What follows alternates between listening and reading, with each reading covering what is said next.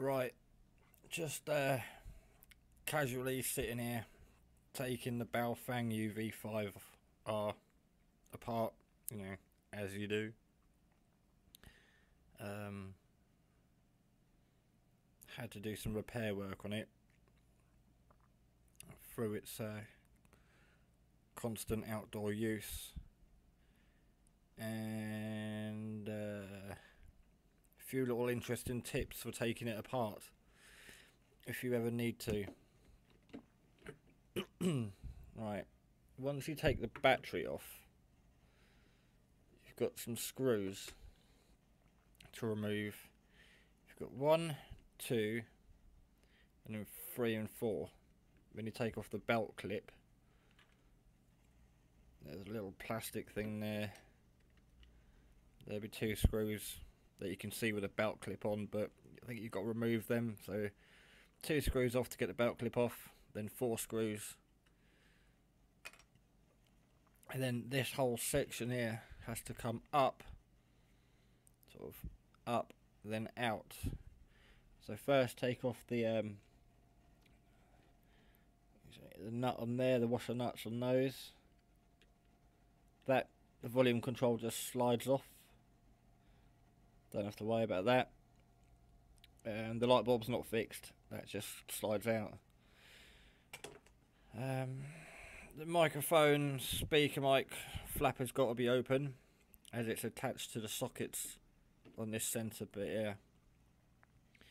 Now I used a small knife to get underneath this bottom one here and lift it quite a bit because the plastic here is really quite wide. And then straight underneath that plastic is the board. And you don't want to be putting a knife or a screwdriver on that and snapping it. So once you've got the back up obviously the circuit board's clear.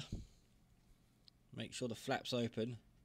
You just push down on the volume knob while sort of lifting the bottom end up and the thing just gently slides open out. Now like most radios speakers attached. And the problem why I putting mine back together was um, sometimes the keypad comes out. Let's try and put this somewhere stable sometimes the keypad comes out so when you put it back together make sure that's all in properly. Now the problem I had the micro switches for the PTT the squelch and the radio um,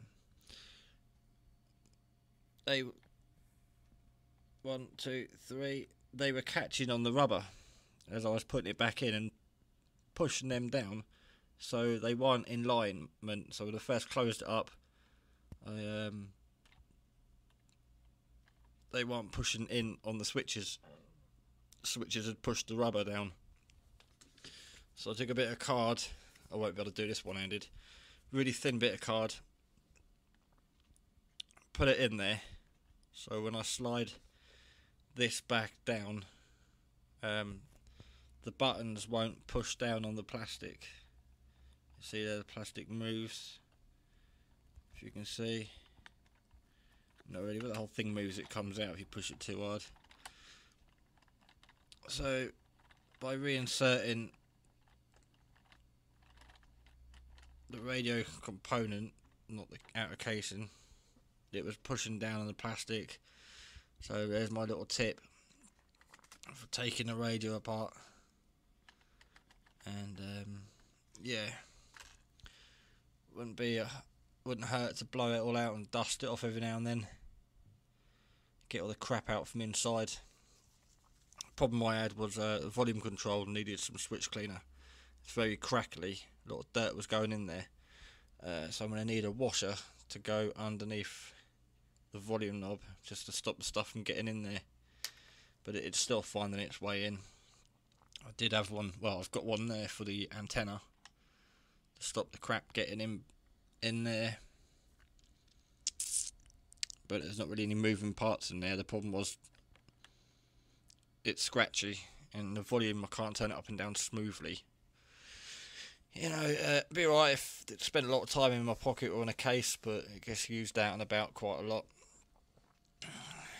So uh, yeah, there's my little tip. When you put it back together, get your bit of card and put it between the buttons and the case. Slide it back in. Remember, it goes in and then down, so you don't snap anything off here. And then just pull the card up, and it should all be lined up. Otherwise, you'll put it all in, screw it all back together, and find out your buttons don't work on the side. Right. That's about all there is to it, really. That's what a UV5R looks like inside. A couple of tiny little LEDs there. And they share the same bit of plastic, frosted plastic there, and it just lights up according to whatever, whatever's on. Um, buttons like the old mobile phones. But uh, that's as far as I'm going to go in taking this apart. Right, thanks for watching. Um, I'm going to try and put it back together now.